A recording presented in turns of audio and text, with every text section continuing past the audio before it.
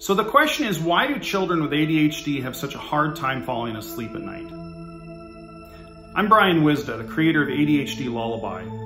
ADHD Lullaby is an album of music which combines music and neuroscience to specifically help children with ADHD fall asleep faster and stay asleep through the night.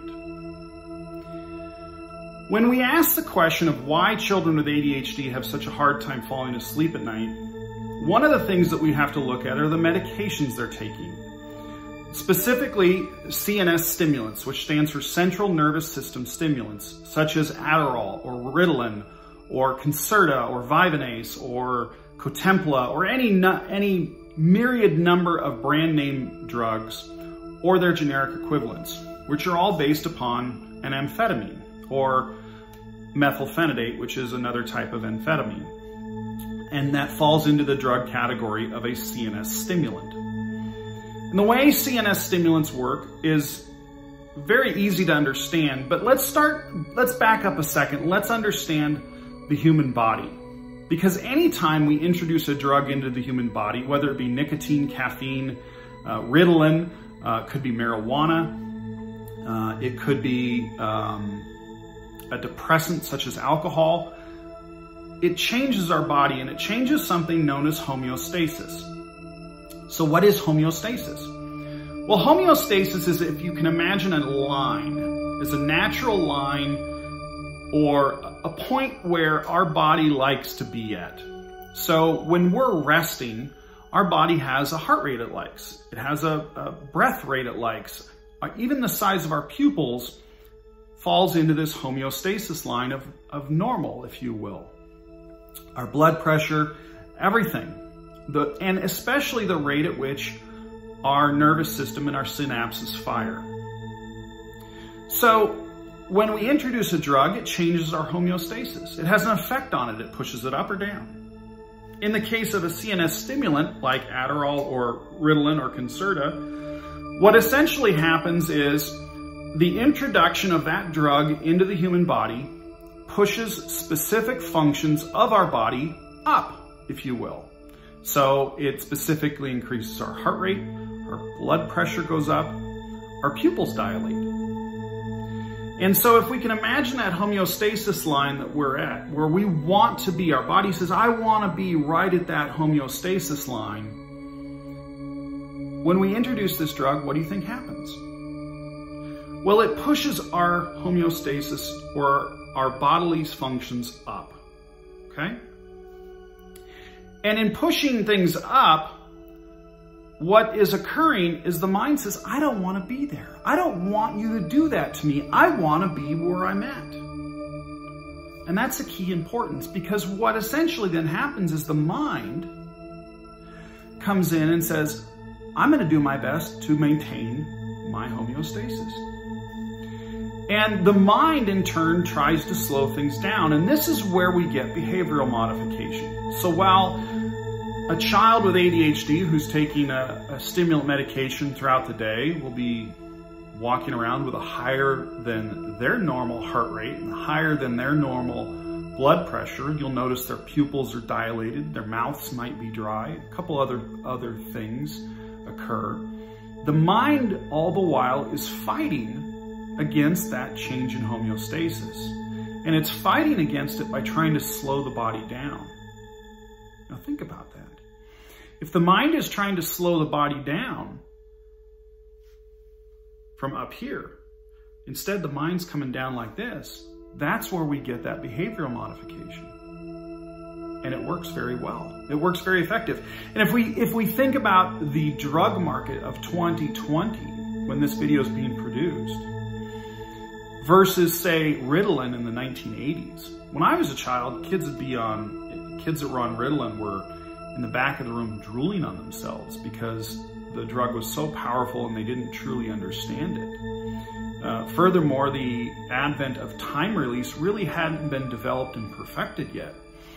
So today we have these stimulant medications that have a huge time release feature to it. And this is also very important in understanding why we have that problem with our children who have ADHD and who are taking stimulant medications and getting to sleep to, at night. So essentially what happens, and, and this is really key, this is the, the extended release part is really, really key. And so when we ask the question, hey, or when somebody asks me the question, hey, Bryan, why is your album, ADHD Lullaby, so effective? The first thing we have to answer is, and we have to understand why our kids with ADHD aren't able to fall asleep with ease. And so let's, let's look at why that time release plays such a big factor. So if you can imagine again that homeostasis line, the body's being pushed up, if you will. And in pushing the body up, the mind is pulling it down.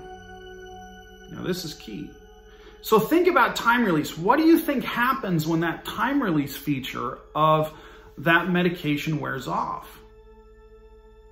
Well, our body starts to return to its natural homeostasis. Our heart rate will slow down from that elevated heart rate. Our blood pressure will begin to drop from that elevated blood pressure. Our pupils will start to constrict back down to normal and other functions will also start to fall within that natural homeostasis. Except that the drug has been active for so long in the body, 12 hours, typically with an extended release type medications. The mind yet doesn't know that the drug's not there. It's still expecting that drug to have that interaction with our, our bodies. And so the mind continues, even though the medication is starting to wear off, the mind continues to pull down. Ah, think about that. So, homeostasis, elevated, but the mind is pulling down the whole way. So when homeostasis starts to drop back down to normal and the mind is continuing to pull itself down, sooner or later we're going to cross below natural homeostasis, right? This is essentially where we get a crash effect from drinking too much caffeine.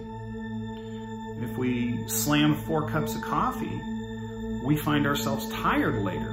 Why? Our body has overcorrected in its attempt to maintain homeostasis. And a child who's taken a CNS stimulant goes through the exact same cycle every single day that they're on that medication. So the mind continues to pull down, and as sooner or later, what happens is the body dips below that natural homeostasis line, and the mind then goes, oh, wait, this is bad. We need to stop this. And it's at that point that the mind dumps, if you will, into the body various chemicals. Now, I don't know specifically what chemicals it's dumping, but it's going to be serotonin, dopamine, etc., that it releases through the uh, pancreas and, and other systems adrenaline maybe too, to get that body back to its natural homeostasis.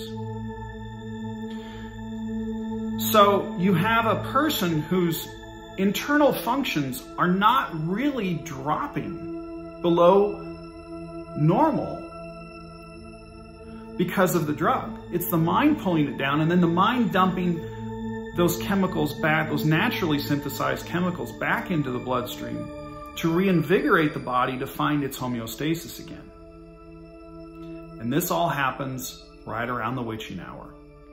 I give my child a medication of, of uh, a 12 hour medication. Let's say I give it to him at 7 a.m. when he wakes up or she wakes up.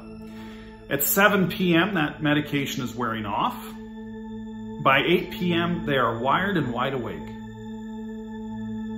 Now think about that what is it that we can actually do to fight this so the children get sleep at night?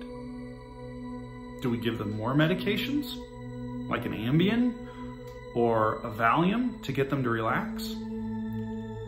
I can't answer that for your child.